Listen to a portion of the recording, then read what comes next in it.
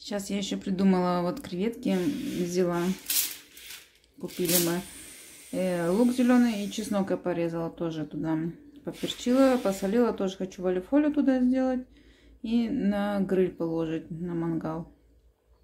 И там чуть-чуть их только надо там подержать и долго не держать, а то они будут хард, ну как твердый, наверное. Чуть-чуть им надо только креветкам.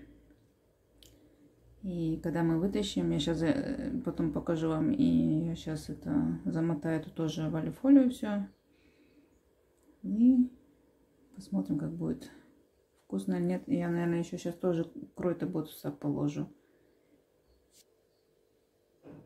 Вот я положила крой-то бота и сейчас замотаю в алюфолию. Так, сейчас я сюда креветки есть положила, рыбу, стейк. Сейчас мы туда на другой гриль положим. Вот что у нас получилось с креветками.